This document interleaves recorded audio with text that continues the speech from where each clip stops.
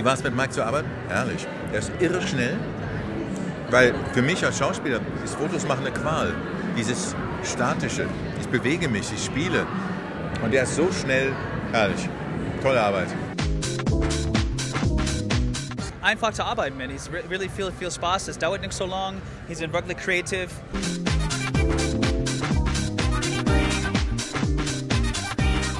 Ja, ich war ja schon einmal hier gewesen, äh, aber ein bisschen verbunden durchs Karree, weil wir ein Fotoshooting mit David Garrett hatten. Ein wunderschönes, zwar nicht hier.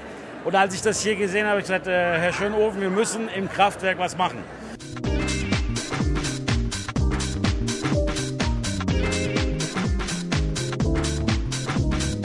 Wir sind irgendwo seelenverwandt, äh, weil wir irgendwo genauso leidenschaftlich und, äh, und verrückt sind und unkonventionell sind.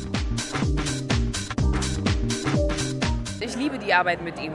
Er weiß, wie eine Frau aussehen soll und, und auch kann. werde ich nächste Woche von ihm fotografiert. genau. Und äh, habe ein volles Vertrauen in ihn. Also Buonasera erstmal hier in München. Schön, dass Sie alle so zahlreich erschienen sind. Kare und Kunst, außer die zwei Ks, äh, nach Adam Riese und Eva Zwerg, wie passt das zusammen? Inspiration. Das Ganze hier ist ein Wohntheater, das haben wir vor fünf Monaten aufgemacht.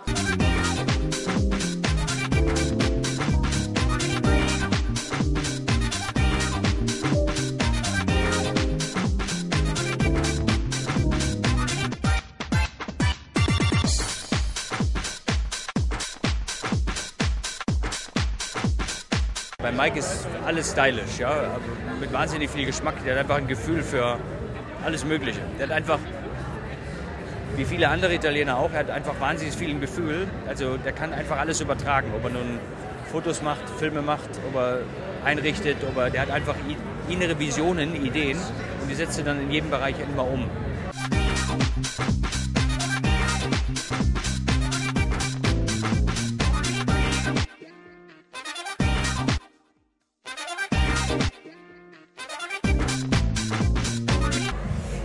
Bisschen spooky, ne? so Jenny und Jenny. Ähm, da denkt man erstmal so, oh, das bin ja ich. Ähm, aber ich finde, ich sehe da auch so anders aus.